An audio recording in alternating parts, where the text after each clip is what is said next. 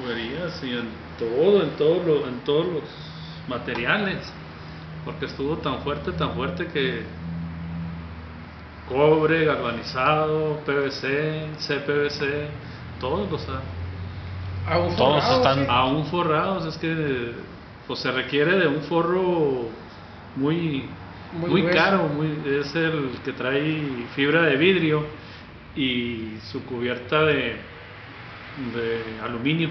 Ese es el mejor, pero está muy caro. Yo le tuve que meter papel, periódico y Y ganas, hay y problemas para reparar. Pues sí, bastante por la dificultad de los techos, ¿verdad? que están muy resbalosos todavía, hasta que no pase el... que empiece a subir la temperatura, ¿verdad? para que deshiele y se pueda, techos. se pueda reparar con más confianza. Y luego está congelada ahorita el agua. Es- eso es lo malo, que, el agua todavía sigue congelada en la tubería y no se pueden hacer reparaciones. Y si se hacen, se hacen a ver si Sí, quedó bien, Va a tener que volver. pues es lo más seguro.